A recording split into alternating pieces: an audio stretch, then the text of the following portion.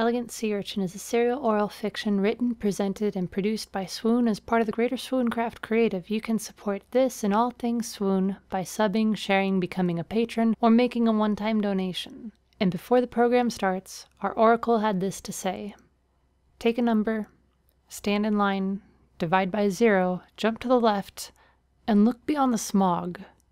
If you see it, relax. There's nothing to be done about it. You listening, thanks, and enjoy. Down the stoop flies KV. It's Mesa's ditcher. It seems Cove's bellhop Thad, clueless, and he does he he does. He answers the door. Another sand dollar for the visiting team. And if the Cove doesn't get out of the murk, they'll be on ice. What do you think, Ald? Uh, you're absolutely right. I think our team's best chance is on offense, but all offensive teams rarely take championships. Uh. It is unorthodox, but we've seen wilder games from the home team. And speaking of, our Flasher just stunned Mesa's Gargoyle.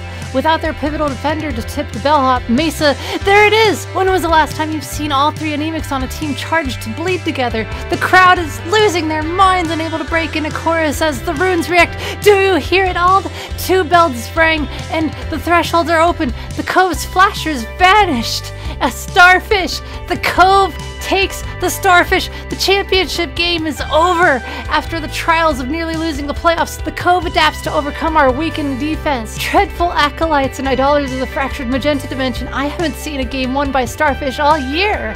Now the field would be buzzing, and there they go. The Mesa don't believe it, and it's turning into a veritable maelstrom down on the field. The crowd is thrilled for more blood. Here's the chanting, but wait, the faculty is trying to ebb the tide of blood, and are you courteously saying please? They're putting that on display. He didn't secure our central threshold once during the match. Ah. That's right, Ald. Mesa scored five sand dollars off his portal alone. The true pedestal belongs to our flasher Cena. If she hadn't put herself out there, we wouldn't have stood a chance. Not only keeping up in sand dollars, but striving for that last push and getting the anemics the chance they needed for a chance at a starfish. Oh, hold on. Yeah. Mm hmm. Mm hmm. Mm. Loathsome listeners, I'm being told by a woman of the tendrils that our time for broadcasting is up. Thank you for this opportunity, UV Wavecast Incorporated. Thank you to the sponsors, Thermal Pens and the Cove Critter Control. This probably would have been possible without your money, but the adults thank you all the same. And I'm Fable Knox. All my regular listeners, I'll be back shortly on my usual humble ripple. Everyone else, thanks for catching our waves. Maybe you'll hear us again in the future. With some listeners, that was amazing. I wasn't expecting to to be that fluid at announcing. I mean, I have been practicing for a couple years, and the, the past week, all your feedback from my wavecasted practice has helped tremendously. But but the Cove won, and that's more important. During the trophy ceremony, I saw a man talking to Cena, our pivotal player, the the dreadful, dark, and handsome type that we assume to work directly under him. You know, there's fond tales of families being elevated by them. One family a century, we say. In my family, it was Null Voice Knox, my grand eighth great father. His nullship was created for his creation of eight legged catnip. It's been around for nearly a millennia, so I won't go into the details. Interestingly, though, looking through his journals as a girl, I always found it strange that this nip stuff was all but forgotten about at the glowing dawn. It made life maybe a little too free of fear since the cat's infestation was controlled. I wouldn't know except by things I've read, of course, but there's enough to suggest in books like The Metropolis and reading between the lines that the big fears of our great grand family's times were no bigger than our current fears. The peppercorns haven't been in the cycle recently, and there's a new concern that the smog's tempo is going to be changing soon from lack of pollution. Hmm. Why were the rail systems removed if there was a projected concern of the smogs to be altered? Why do we let strange societies like the peppercorns go about tinkering and thinking in such strange ways? Well, those are questions Uncle L has proposed since being assigned. I. Wave catchers, I think I broke something in Uncle K. I can still hear his last words to me that something, had changed. Has changed.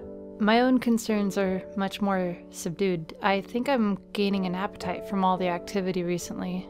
I'm afraid to wavecast after end school. I I I want to do something good, but I can't help feeling like I'll fail or that I can't do it alone.